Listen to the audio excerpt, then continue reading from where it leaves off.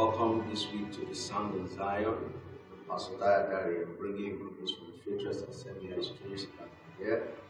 This week and in the subsequent broadcast, I want to talk to you about what God wants you to have. What God wants you to have. Many times we are so occupied with the things that God denies us that we are not conscious of the things that God wants to give to us. The Bible says God is the one that gives without holding back. That's what the Bible told us. So the actual uh, uh, personality of God that should be better established in our heart is that He is a giver, not a denier, not someone that denies us. But by the operation of the wicked one, our minds have been occupied more with what God denies us than what God wants to give us. And I want you to know what God wants to give to you. What we have and possessions play so much important roles in the life of man that many times, you know, even if people live for 80 years in this world, it just passes like a flash. And the only thing you can use to remember them is the things they have. That's why possessions play so much important roles in the mindset of people. And that's why people do anything to have things. And so much they, they, they even deny the fact of what God wants them to have. Sometimes they put their hands on what God does not want them to have and know, refuse to receive what God wants them to have. You know, the Bible told us in the book of Luke, chapter 12, verse 13 to 15, the, the, the power of possessions on the heart of man. Luke 12, 13 to 15, it reads, uh, Then one from the crowd said to him, Teacher, tell my brother to divide inheritance with me. But he said to him, Man, who has made me a judge and arbiter over you?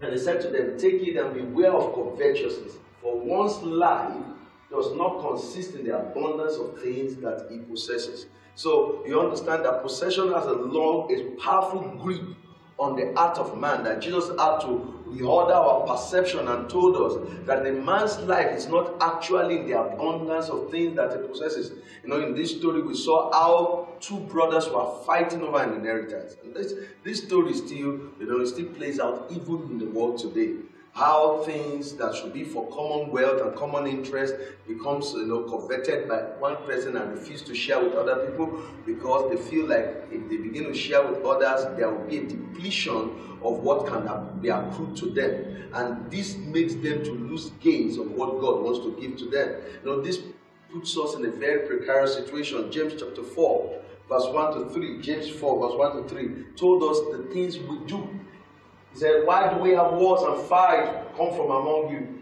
Do they not come from your desires for pleasure that war in your members? That's where wars come from. Wars come from pleasure, from desires, from lust. You lust and do not have. You murder and covet and cannot obtain. You fight and war, yet you do not have because you do not ask. Verse 3 said, You ask and you do not receive because you ask amiss that you may spend it on your pleasures. So the Bible told us clearly here that the source of wars in the midst of in the, on the face of the earth is the lust and desires of men. And the Bible says, for these desires, they sometimes even murder and kill. I don't think there's anything God wants to give you that wants you taking the life of another man. In fact, there is nothing God wants to give you that wants you trampling upon another to have it because God is rich towards all men. this brings me to a story in the back of my mind. The story is found in 1 Kings chapter 21, verse 1 to 4. 1 Kings 21, verse 1 to 4 is the story of King Ahab and Naboth. It's a very common story. King Ahab and Naboth. The Bible told us that Ahab had a palace in Samaria, but Naboth had a vineyard just beside the palace. And you know, one of the things that that happens to the human heart is that when we become covetous, we refuse to see the things that God has given to us. We begin to focus on more on the things that have not been given to us. Ahab was already a king, he had a palace, he had everything. But the problem is he was still you know, covet, covetous of the vineyard of Naboth that was beside his palace. And he went to this man and he said, I want you, I want to have this vineyard. I want to use it for a vegetable garden. I want to turn it to something of my fancy. And that man said a statement that was very important. He said, The Lord forbid that I give you my inheritance. The truth of the matter is that there are things God does not want you to have. And there are things that God does not want you to have, not because God is denying you, but because God has prepared better things for you.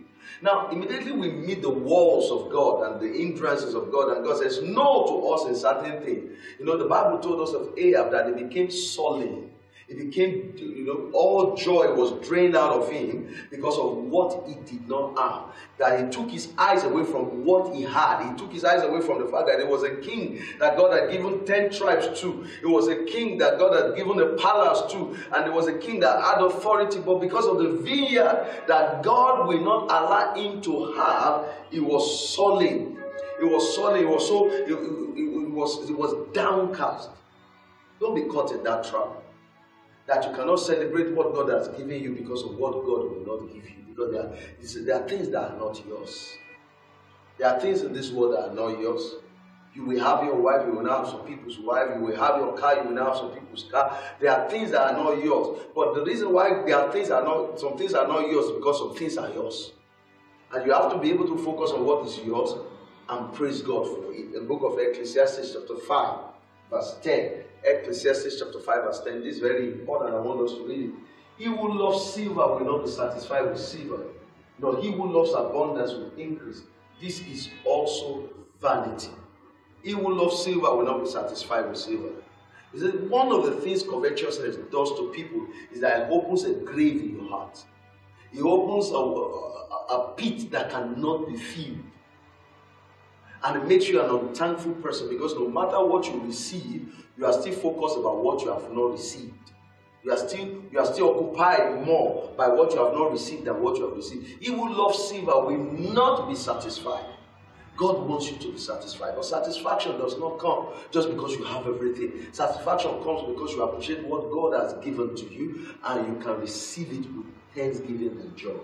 In the subsequent broadcast, I will still talk to us more about the things God wants us to have. But I'm focused today to tell you that things God doesn't want you to have. And it is not bad news. It's good news. There are things God doesn't want you to have because there are things God wants you to have. And I want you to focus on the things God wants you to have and be grateful for them and praise God for them and open the doors of blessings. In Jesus' name. Amen.